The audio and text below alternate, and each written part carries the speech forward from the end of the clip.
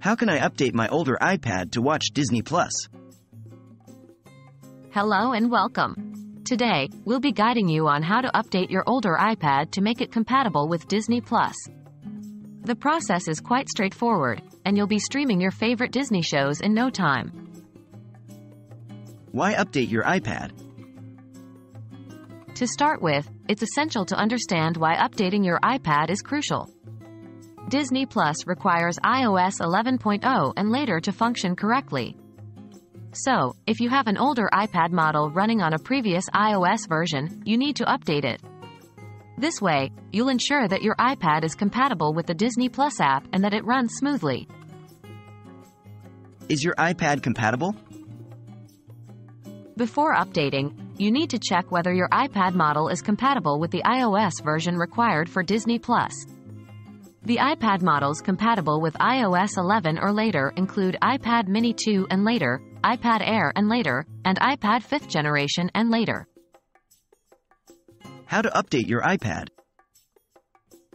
To update your iPad to the latest compatible iOS version, follow these steps. 1. Connect your iPad to Wi-Fi. 2. Go to Settings, General, Software Update. 3. If an update is available, click on Download and install. If your iPad is not up to date, it will take some time to download the new iOS version and then install it. Remember to keep your iPad connected to Wi-Fi and power throughout the process. Installing Disney Plus app. Once you have updated your iPad, you can then install the Disney Plus app. Here's how. 1. Open the App Store. 2. Search for Disney Plus. 3. Click on Get and then install. After installing the app, you can sign in or sign up for Disney Plus and begin enjoying your favorite shows and movies. That's it.